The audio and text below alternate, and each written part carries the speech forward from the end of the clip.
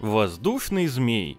Смотри, воздушный змей застрял на дереве. Ха, я думал, что такое бывает только в мультфильмах. Похоже, это работа для супердевочки с опасными выдвижными когтями. Это твое супергеройское имя? Ага, Немного многословно. Тебе так не кажется? ага. Осторожно, там очень высоко. Ха, нет ничего, с чем не сможет справиться супердевочка с опасными выдвижными когтями. Ух, хорошо, это правда очень долго. Может лучше суперкошка? Слишком просто. Когтистая? Это звучит как обычное прилагательное. Акела?